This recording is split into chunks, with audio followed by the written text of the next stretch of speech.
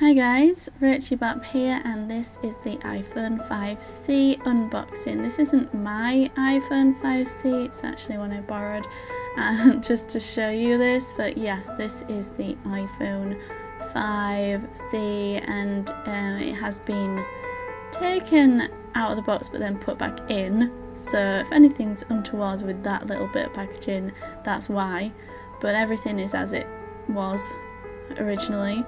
So this is the white version of the 5C and it's a plastic box. You'll notice that straight away if you've ever had an iPhone. Usually it's a cardboard box, so this is plastic to go with the plastic phone. And yes, take the lid off, there we go. And this is the actual phone. Um, it's got a, like a funny screen thing on the front, hello, and it's like popped into this plastic again, like thing that's really difficult to get off. And actually really all you have to do is pull back the bottom bit. Yeah, I eventually got there. So this is it, and if we peel off the front screen cover, oh, you can see my light and camera, lovely reflection but yes, this is the white one. You can see it all there.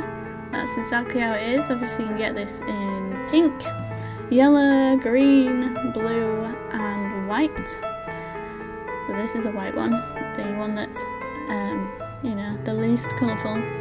And then in there, that's where your pin is to get your SIM out. And we've got the earpods here. You also get your Apple stickers in that thing before.